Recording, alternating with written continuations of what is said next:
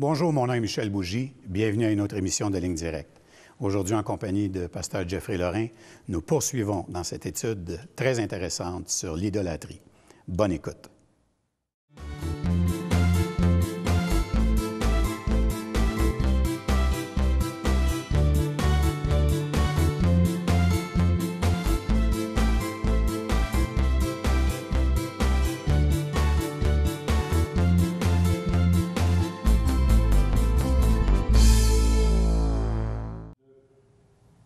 Bonjour, Pasteur Jeff. Bonjour, Michel. Et puis, euh, une autre émission. Oui, monsieur. On va poursuivre euh, sur le sujet de l'idolâtrie. Mais avant de poursuivre dans le sujet, je vais te demander de prier pour les autorités. Seigneur, selon ta parole, tu nous demandes de prier avant toute chose pour ceux qui sont élevés en dignité.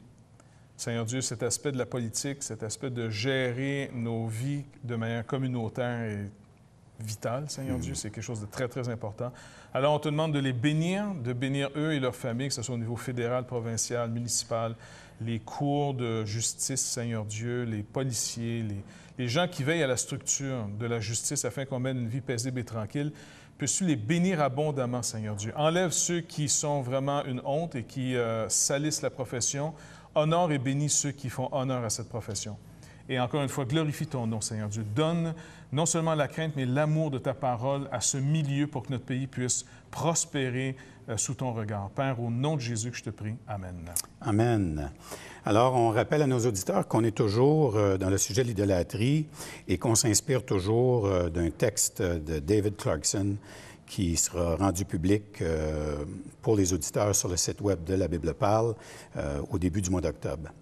La dernière fois qu'on s'est parlé, Pasteur Jeff, on s'était laissé sur une euh, tonne de Bob Dylan. Non, en fait, c'était pas vraiment ça, mais ça avait amené c'était l'inspiration qui nous avait amené à dire on sert toujours quelqu'un. C'est ça, on sert toujours quelqu'un. La motivation de ce qu'on fait est en fonction de quelqu'un qu'on sert, d'une cause qu'on sert.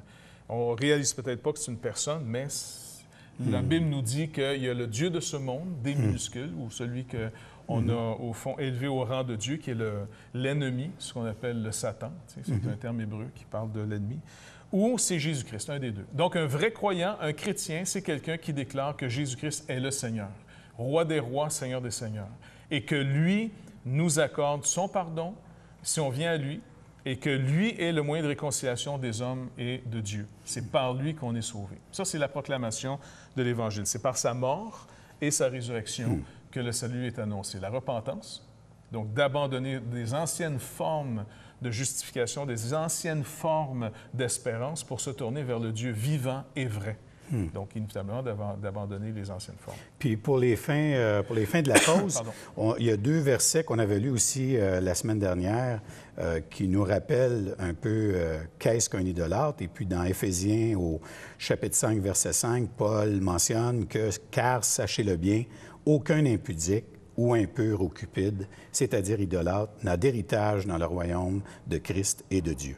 Alors, il brosse un portrait parce que, quoique ça peut sembler que c'est limitatif juste d'avoir trois aspects, c'est des aspects qui touchent l'ensemble de la vie humaine. Oui, parce que cette manière de voir impudique, impur et cupide, on peut le retrouver dans Jean. Jean va avoir des termes différents, mais il dit la mm. même chose. Mm-hmm. Dans 1 Jean 2,16, il nous dit, lui, que c'est euh, car tout ce qui est dans le monde, donc quand on parle du cosmos, le monde, on parle d'un système qui s'est déclaré être en opposition au Dieu véritable. OK, c'est un autre monde, c'est un autre système. Fait que là, on fait appel, quand on utilise l'expression le prince de ce monde, c'est de ce monde-là dont on parle. C'est de ce monde-là qu'on parle. Ça, c'est l'expression que l'apôtre Jean nous donne ici. Le cosmos, l'ordre, le monde. Mhm. Quelque... Dieu l'aime, ce monde. Mhm. C'est toujours le même monde qui est ennemi de Dieu, que Dieu a aimé puis qui a donné son Fils unique. Mhm. Mais à nous, les croyants, il nous demande de ne pas aimer. Ce pas les individus dans le monde qui ne doivent pas être aimés, mais les valeurs qu'ils transportent, les idées qui s'élève contre la connaissance de Christ, euh, ça, on doit résister à ça. Comme dans Jean 3,16, car Dieu a tant aimé le monde. Donc, ce monde-là est le monde ennemi de Dieu. OK. OK, donc c'est pour montrer l'amour que Dieu a pour le monde. Mm-hmm. Donc, Jean nous dit que, car tout ce qui est dans le monde, la convoitise de la chair, la convoitise des yeux et l'orgueil de la vie. Ça revient à ce que Paul dit. Regardez, la convoitise de la chair, c'est l'impudicité. Oui. OK? La convoitise des yeux, c'est l'impureté. Mm-hmm. Et puis la convoitise ou l'orgueil de la vie, c'est la cupidité. cupidité. Donc, il dit ici, euh, tout ce qui est dans le monde, donc la convoitise de la chair, la convoitise des yeux, l'orgueil de la vie, ne vient point du Père. Cette motivation ne vient point de Dieu, du Père, mais vient du monde. C'est le système qui produit Mhm. en nous cette motivation. Hmm. Donc, encore une fois, on sert un ou on sert l'autre. On est sous l'effet, sous le charme, sous les désirs que produit un système ou un autre système. Hmm. Donc, euh, Clarkson, il résume bien, il dit, le plaisir, les richesses et les honneurs forment la trinité de l'homme charnel. C'est bien résumé. Donc, le, le plaisir, Mm-hmm. et beaucoup de gens aujourd'hui, le but de leur vie, c'est le plaisir. Hmm. D'autres, leur motivation, c'est les richesses. Mm-hmm. Ou d'autres encore, c'est les honneurs. Donc, euh, Clarkson voit vraiment que depuis toujours, c'est le problème de l'être humain, le plaisir au détriment de Dieu, euh, que ce soit les richesses au détriment finalement de l'obéissance à Dieu, ou encore une fois, les honneurs, mais pas celles qui viennent de Dieu, mais celles qui viennent du monde. Comme Jésus disait à son époque, comment pouvez-vous croire, vous qui cherchez votre gloire des hommes plutôt que celle qui vient de Dieu? Puis on va aussi voir que je pense que pour les, les auditeurs qui nous écoutent, parce qu'on on rappelle que l'émission Ligne Directe, son but, c'est de s'adresser à des croyants. Fait faudrait Ou à ceux qui s'intéressent aussi ou à à ceux la qui s'intéressent, qui cherchent, les chercheurs. Mais il ne faudrait pas faire l'erreur que ce qu'on est en train de décrire là, on est en train de décrire un monde non chrétien, séparé de Dieu. On est en train Dans de décrire... Ben, dans le sens où, quand on parle, par exemple, de euh, les honneurs, Oui. Mais ça, c'est quelque chose, c'est un phénomène qu'on peut retrouver dans l'Église. Ah oui. L'Église, en passant, c'est pas une bulle dans le monde. Exactement. C'est qu'on est dans ce monde et le croyant euh, euh, le, plus, le plus éclairé, tu sais, entre guillemets spirituel, c'est celui qui est le plus conscient à quel point il est dans le monde. Hmm. Et il vit de la grâce de Dieu, du pardon de Dieu, et il, vraiment, il attend de Dieu la motivation que produit l'Esprit plutôt que celle que produit le monde. Il est très conscient que c'est pas moi, je suis chrétien et je suis dans la bulle de l'Église et le monde dehors, c'est tous les méchants, pas du tout. C'est celui qui est devenu conscient de sa folie et de son idolâtrie. Et puisqu'il est conscient de sa folie et de son idolâtrie, sans tomber dans le désespoir, parce que s'il n'y avait pas d'espérance, ce serait très désespérant, euh, il y a plutôt un espoir maintenant en Christ. Par cette nouvelle relation rétablie à Dieu par Jésus-Christ, le Saint-Esprit produit des désirs contraires à ceux de ma, de ma nature. Parce que je dois être délivré de mes désirs. Je ne peux pas juste les nier, mes désirs. Ça, c'est un piège dans lequel beaucoup de gens qui sont plus dans la forme religieuse du christianisme que dans sa communion à Christ tombent. L'expression courante, je vais travailler là-dessus. Oui, c'est ça. Il n'y a pas, il y a pas de tra- il- peux pas- C'est un, peu, la- c'est un peu cette image d'essayer de se tirer d'un trou en se tirant par les lacets. C'est ça. Dire, il faut que ça soit une autre source qui me sorte d'une autre source. Tu sais, Dans le sens, il doit y avoir quelqu'un qui me tire du puits. Je ne peux pas sortir moi-même. Puis d'ailleurs, dans la première saison, tu te rappelleras qu'on avait euh, fait une émission autour du thème des deux fils. Oui. Hein? Puis tu te rappelles, tu nous avais parlé vraiment comment, euh, tu sais, le, le premier fils, celui qu'on appelle le fils prodigue, dans le fond, lui avait vu clairement sa situation et il avait eu un repentir. Mais on, oublie, on oubliait souvent de parler du deuxième fils, qui lui était dans le fond celui qui avait toujours fait ce qu'il avait à faire. Il était conforme. Il s'est était conformé. conforme. Mais il n'a pas été transformé. Donc, conforme. Et en passant, cette étude est extrêmement inspirée par, euh, encore une fois, Tim Keller. Mm-hmm. Euh, c'est vraiment... Trouvez cet auteur sur Internet, écoutez, ses, ses clips sont super intéressants, ses livres très motivants. Tout à Bref, exactement. Donc, cette forme de, de désir nouveau, c'est la promesse que Dieu nous accorde par le Saint-Esprit. Et c'est pour ça que le croyant, non pas en faisant un déni ou en s'attaquant à sa nature, c'est pas ainsi qu'il la mortifie, selon Romains chapitre 6, le croyant mortifie sa vieille nature en se stimulant par la nouvelle relation qui produit une nouvelle nature dans l'homme. J'ai une nouvelle relation maintenant avec Dieu, j'ai un nouveau statut, j'ai des nouveaux privilèges. Et c'est une motivation, c'est Ben oui. c'est une satisfaction, on est content, on est heureux. C'est la source. Comme il dit encore une fois, Paul, ici aux Thessaloniciens, 1 Thessaloniciens 1, 9, car on raconte à notre sujet quel accès nous avons eu auprès de vous et comment vous vous êtes convertis à Dieu, et ça c'est la formule ici, regardez bien, en abandonnant les idoles pour servir le Dieu vivant et vrai. Donc, ils n'ont pas juste abandonné leurs idoles puis ils ont fait une bonne job. Non, ils abandonnent leurs idoles en se tournant vers quelque chose de plus précieux. Je suis capable d'abandonner quelque chose qui mène à rien pour quelque chose qui mène à quelque chose. Oui, puis d'ailleurs, si on continue l'autre verset, pour attendre des cieux son Fils, qu'il a ressuscité des morts, Jésus qui nous délivre de la colère à venir, qui, ça, pour moi, quand je le lis, c'est l'espérance. Ben oui. Donc, chacun de nous, on n'est pas euh, dans l'ignorance Mm-hmm. que le but de cette vie physique dans laquelle on a été conçus Mm. finit dans la mort.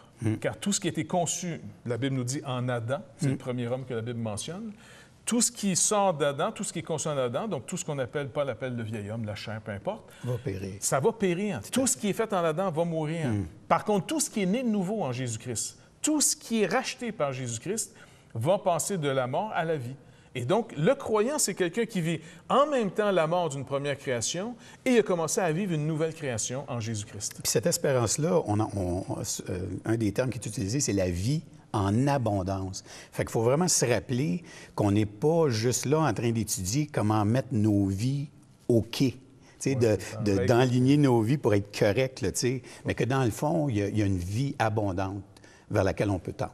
Exactement. Et c'est cette nouvelle motivation qui fait que le croyant se sanctifie, toujours en continuant d'abandonner des idoles qui étaient plus subtiles que les premiers, pour se tourner de plus en plus vers ce Dieu vrai et vivant qui euh, nous attend. Oui, puis d'ailleurs, dans ce même, euh, dans ce même livre, euh, dans 1 Thessaloniciens au chapitre 4, Paul parle d'aller de progrès en progrès. Exactement. Donc, il y a un encouragement là-dedans. C'est ça. Donc, on doit demander au Seigneur, écoute, je suis prête à ce que tu me montres davantage mes idoles. Parce qu'oublie pas, d'abord, on commence par les grosses idoles, bêtes et méchants, là, euh, pour le Seigneur Jésus-Christ. En d'autres mots, on parle d'autres expériences, ça serait passer des gros péchés euh, laids et pas fins à, à Jésus-Christ. Maintenant, quand on a fait cette première étape, le Seigneur va dire, on va aller encore un peu plus loin. Et ça va du mal que j'abandonne à éventuellement même la forme de bien que j'avais qui donnait ma valeur. Et de trouver ma valeur en Jésus-Christ sur ce qu'il dit que je suis. Et Paul prend une illustration euh, vraiment euh, forte pour essayer de faire comprendre aux croyants qu'est-ce que c'est d'être devenu une nouvelle création. Parce qu'on on sent que on est toujours dans l'ancienne. On dit, qu'est-ce qu'il y a de nouveau dans, ma, dans ma nature? J'ai des tentations encore. Je suis toujours dans un monde qui est en rébellion contre Dieu. J'ai une partie de moi qui, si je ne fais pas attention, s'accorde facilement avec le monde contre Dieu. Euh, il y a des choses que je sais mal, mais ça me tente de les faire pareil. Donc, il y a toujours cette dualité dans, dans le croyant qui dit, Coudon, ça a-tu marché ou ça n'a pas marché, cette affaire-là?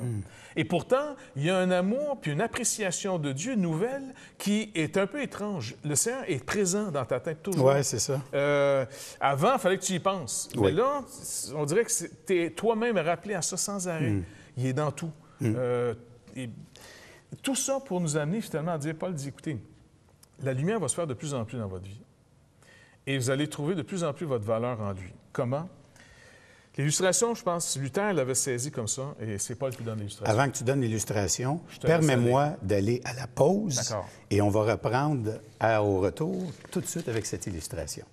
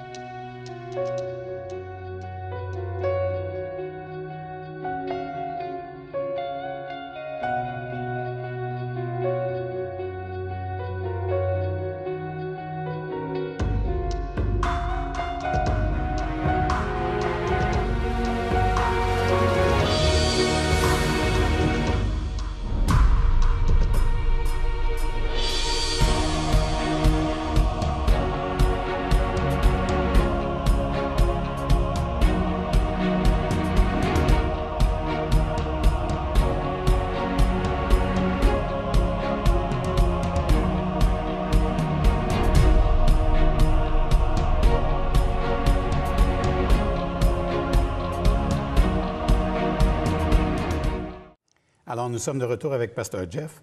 Et avant la pause, Pasteur Jeff, tu nous parlais que tu voulais nous euh, partager une illustration. Oui.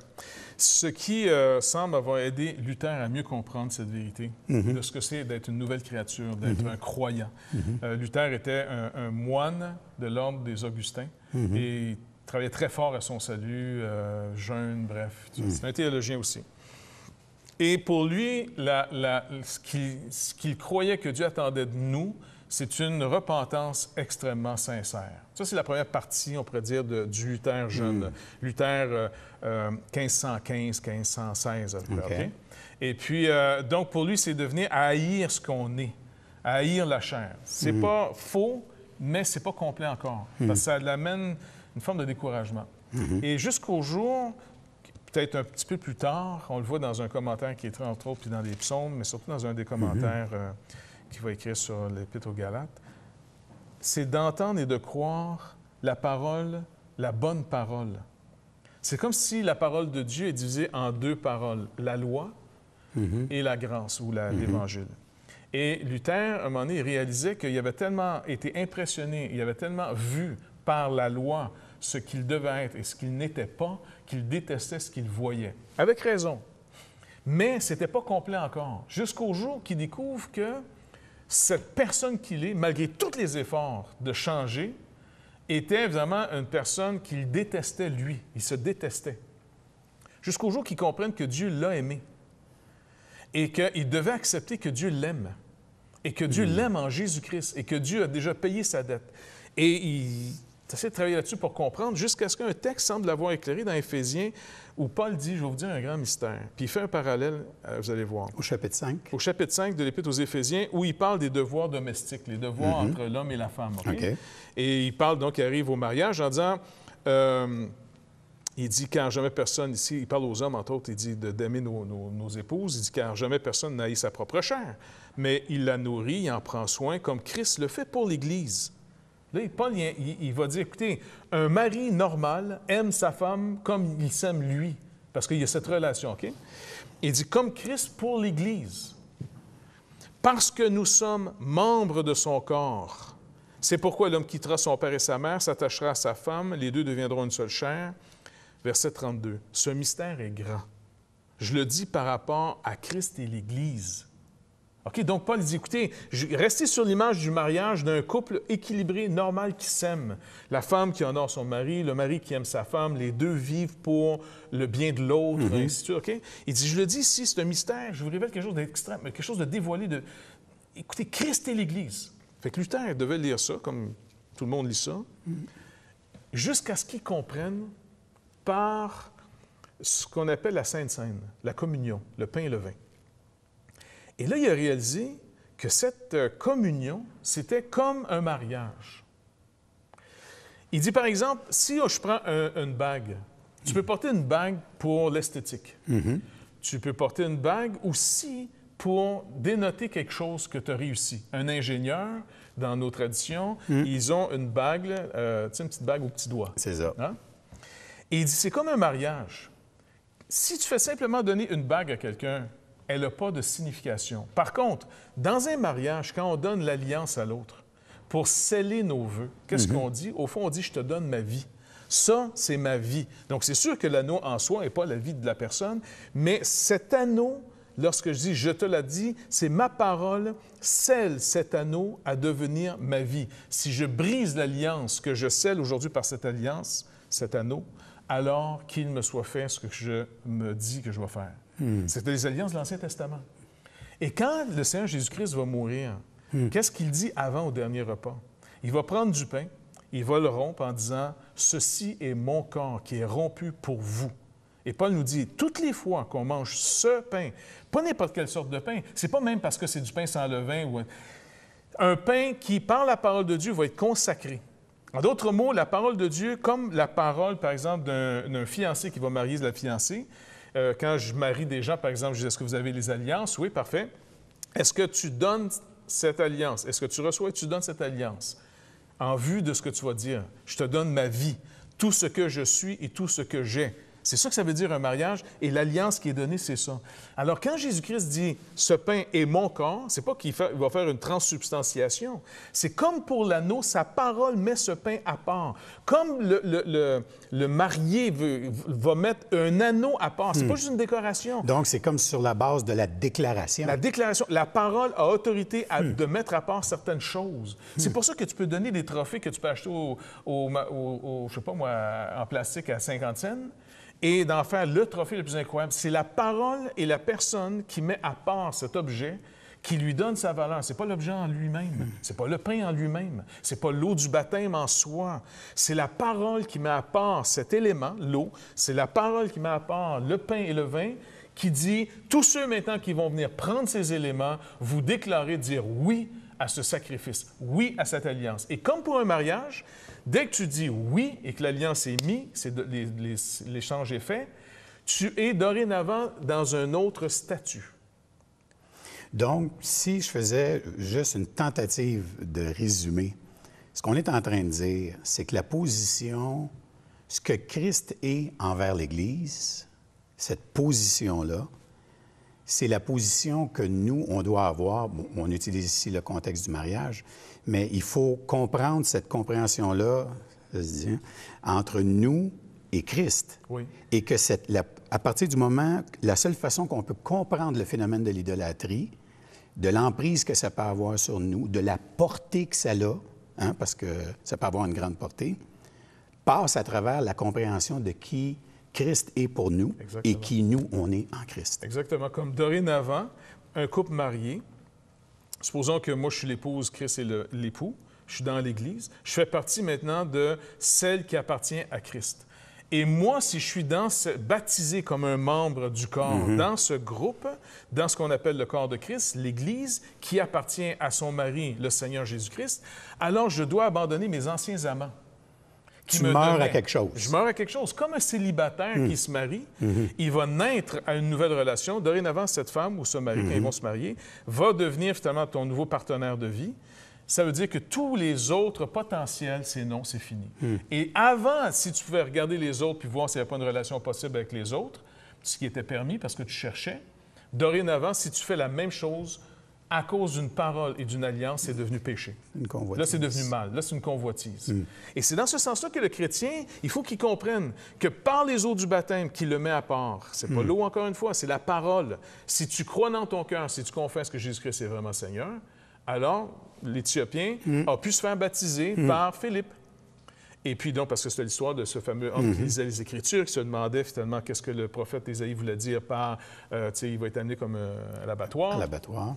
Et là, Philippe en profite y annoncer l'Évangile à ce juif, ou en tout cas c'était un Éthiopien, je ne sais pas s'il était juif, je présume que oui, et qui retournait euh, dans ses fonctions.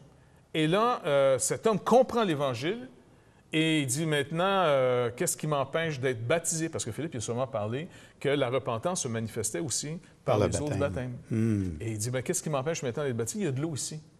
Et Philippe lui dit, si tu crois vraiment que Jésus-Christ est Seigneur, que c'est ton Sauveur et Seigneur, alors il n'y a rien qui t'empêche que tu crois que c'est le Fils de Dieu. Hmm. Donc, ça veut dire que cette position ultime, et oublie pas, maintenant, tu vas rentrer en problème avec ce monde, car ce monde a déjà mis sur le banc, sur le trône euh, du Sauveur du monde, César, le système politique, les richesses, le plaisir. Là, dorénavant, tu vas épouser Jésus-Christ qui est à l'origine de tous tes besoins et qui va combler tous tes besoins. Est-ce que tu es prêt? Oui, je suis prêt. Comme un mariage. Es-tu prêt à dire non, restant du monde maintenant, et c'est oui pour elle pour toujours? Hmm. Et seule la mort peut nous séparer. Donc, c'est dans ce sens-là que Luther découvre hmm. sa nouvelle position. Hmm.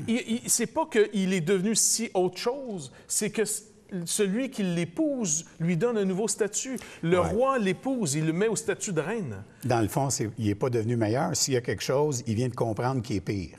C'est ça, parce qu'entrant dans la lumière du roi, hmm. en voyant des habits royaux puis de voir la richesse, il y avait à quel point il était pauvre, à quel point il était sale. Mais quand il était avec les mendiants puis les autres qui étaient aussi pauvres, alors chacun essaie de se comparer qui est le plus moins pauvre, plus ou moins sale. ça. Mais quand tu rentres dans le palais royal de la propreté, avec des habits comme tu n'as jamais vu, et puis avec, euh, je sais pas, un statut incroyable, là, là, là tu es mal. Mais le Seigneur dit, tu es pardonné et tu m'appartiens maintenant. Hmm. Tu comprends? C'est cette manière de dire Mon corps est rompu pour toi. Ta mort, c'est comme si le Seigneur disait C'est comme un mariage.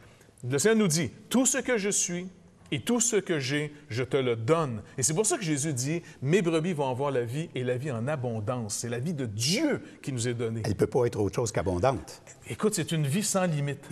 Maintenant, il dit, et tout ce qui est à toi est tout ça à moi. Tout ce que tu es et tout ce que tu as est à moi. Et le croyant doit le réaliser et de relâcher tout au Seigneur, parce que qu'est-ce qu'il vient de relâcher en réalité? La mort le péché. Le Seigneur dit tes dettes sont mes dettes. Ce que je ne suis pas. C'est ça. et là, c'est pour ça que Christ doit mourir. Mais puisqu'il est le roi et puisqu'il est Dieu fait homme, hmm. il triomphe de la mort. Il va vaincre la mort et il nous donne la vie.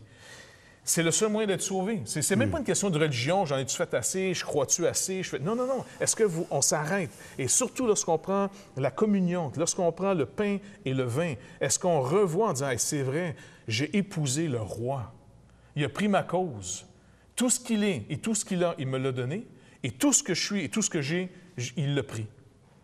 Il est mort pour moi, à cause de moi. Hmm. Il a vaincu ma mort et maintenant, il me donne sa vie. Et le, Seigneur dit maintenant, tu dois apprendre à vivre le nouveau statut, toujours dans la vieille nature. Et c'est ça qui est au cœur de la vie du croyant, de jour en jour de progrès en progrès, d'échec en échec, et puis on continue, puis on avance comme ça. Écoute, Pasteur Jeff, c'est vraiment, vraiment fascinant. Le, on va définitivement, on va s'arrêter ici pour cette émission. Et puis, euh, on va poursuivre euh, à la prochaine émission en, en, grattant encore un petit peu plus sur le sujet de l'idolâtrie. D'accord, monsieur. Merci beaucoup d'avoir été avec nous pour cette émission de Ligne Directe. On vous rappelle, euh, en fait, deux euh, site Internet important, labibleparle.com et aussi toutchrétien.com où vous pouvez trouver non seulement les ressources qui sont faites à la Bible parle, mais un ensemble d'excellentes ressources qui sont faites pour les croyants qui cherchent à comprendre la parole de Dieu. Merci d'avoir été avec nous. À la semaine prochaine.